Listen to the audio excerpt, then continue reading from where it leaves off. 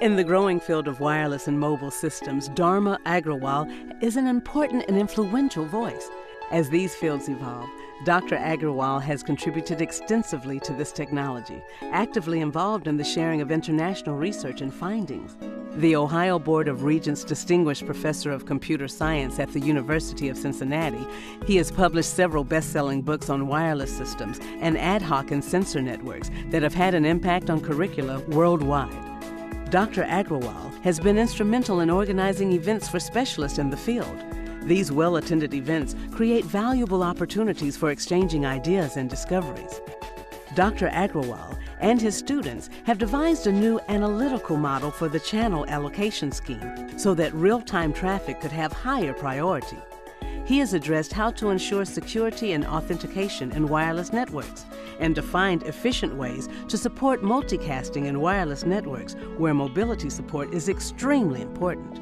His recent work on mesh networks has opened up a new area of research that may enable efficient and cost effective distributed computing.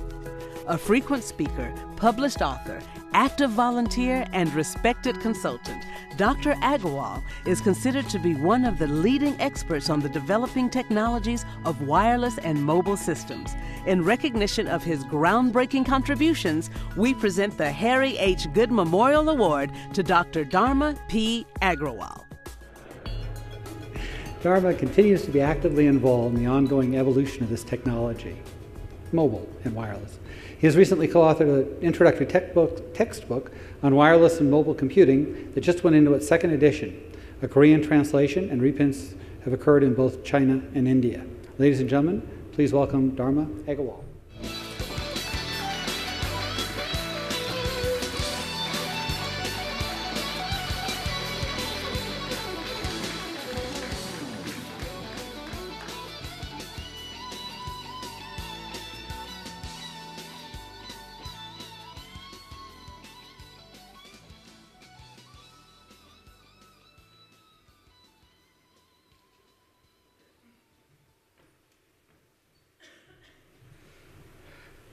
I think I'm going to repeat what others have said.